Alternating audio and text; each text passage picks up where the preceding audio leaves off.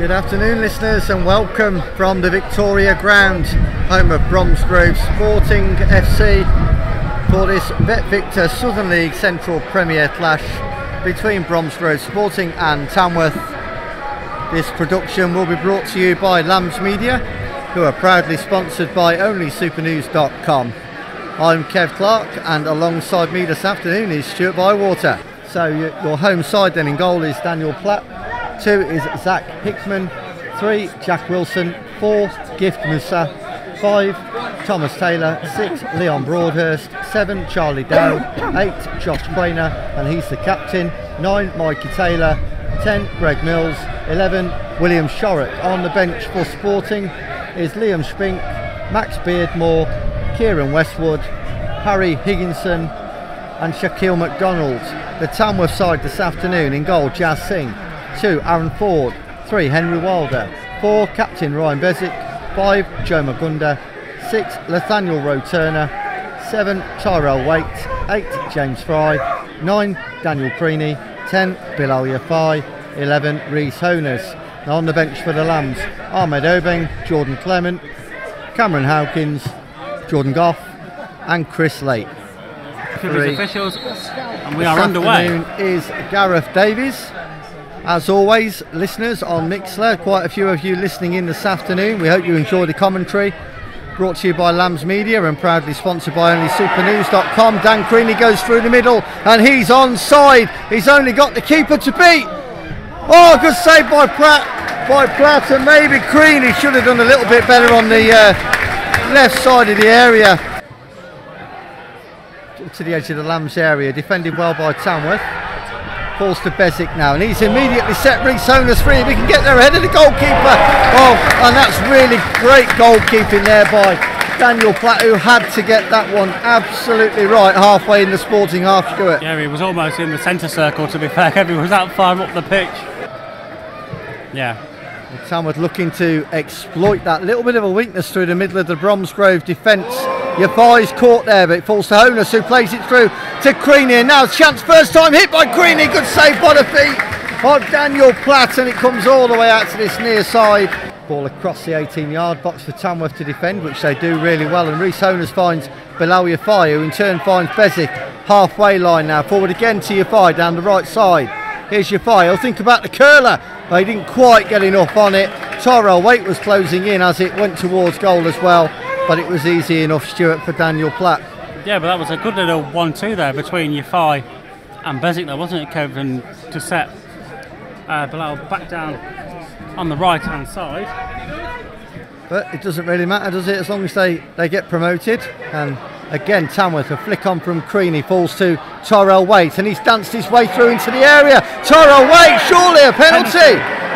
Oh no, it's uh, it's run through to the goalkeeper, and the referee says no, play on. I thought the referee had pointed to the spot then for a moment. Well, that's what confused me, in all honesty, because he pointed directly at Daniel Platt, which was also where the spot was. Yeah. So he'll swing this towards the far post. Goes quite low, flat trajectory. It's in, bouncing around the box, stabbed towards goal. It's cleared, half cleared, off the line. Yeah, it was Ryan Bezic cleared off the line. Ball down the left side of the 18-yard box now to Yafai. Early ball into Besic. Oh, Creaney almost gets something on it, eight yards from goal. Goal kick to Tamworth. Yeah, because our, our mugs have been splattered around social media enough, haven't they, Kev, saying that we're on the press bench. Well, that's the trouble we have. We go to the ground, people say hello, Kev, hello, Stu. We, they know who we are. And again, a little ball through the middle for Tamworth. Now, Creaney's on the end of it. First time shot, completely miss hit. And that goes out of play for a goal kick.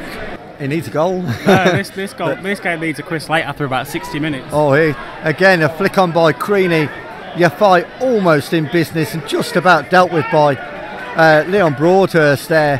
Tamworth keeping the pressure on down this right side with Jimmy Fry, who will try and get something out of this. Oh, he managed to squeeze a cross over. Creaney turns and hits it. Platt is equal to it. He didn't quite get his foot around that and get full purchase on it, but Platt still had to get low down to his right to save it, Stuart. Throwing quickly taken on this near side by Shorrock, but dealt with by Tamworth, flicked on by Waite.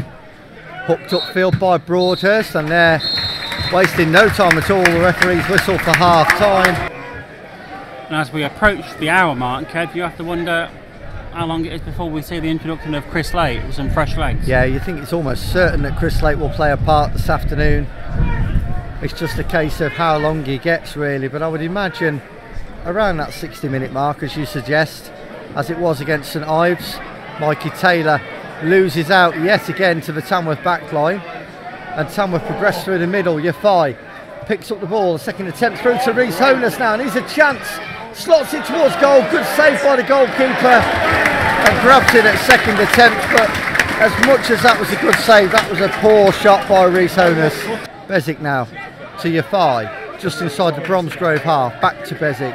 clipped it infield to Tyrell Waite. The little through ball towards Creaney wouldn't have got to him anyway, but it was cut out. But it's uh, what I meant by that. It was too close to the goalkeeper with that trajectory. Bromsgrove survive anyway. Forward with a foot in against Taylor, and he's unfairly fouled the Bromsgrove sporting man, and that is a free kick. Well, maybe Aaron's tantrum has prevented it. nonetheless, it is a free kick to Bromsgrove. Greg Mills to take, and this is a good position to put pressure on the Tamworth back line in the 18 yard box. And it comes towards the centre of the goal, flicked on, and it's into the back of the net. Completely missed by Jazz Singh, completely missed by the Tamworth back line, and a free header at the far post just looped up into the net. And it is 1 0 to Bromsgrove Sporting, and that is really harsh on the performance of Tamworth this afternoon. It's hard to comment on whose fault it was. A little foul there against uh, Josh Quainer, about 10 yards into the Tamworth half. And a free kick to Sporting, who lead by one goal to nil. 62 on the clock. Quickly taken free kick into Westwood, the substitutes, who swings it into the area but dealt with by Tamworth. And away comes Waite with a clever pass out to Reese Honus now. Tamworth motoring over halfway.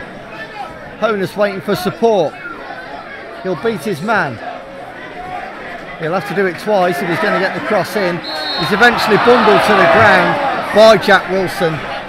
There's Mikey Taylor, just one man in the wall to try and stop the ball coming over, and it's towards the back post. So the head of Bilal Yafai, but it's hit the ground first and ended up in the hands of Daniel Platt, who bowls the ball out quickly. All of a sudden, there's a slight overlap on the left hand side now for Bromsgrove. Here's Greg Mills into the 18 yard box. Ball across, Singh palms it away, and uh, Nathaniel Rowe Turner clears that one up. Tries to get Tamworth back in possession and does so. Ball forward now is half cleared by Bromsgrove and only as far as Bilal Yafai. He's looking for the overlap now, and it's Jimmy Fry gets a shot off. Good save by Platt. It had to be saved, and he's put it out for a corner.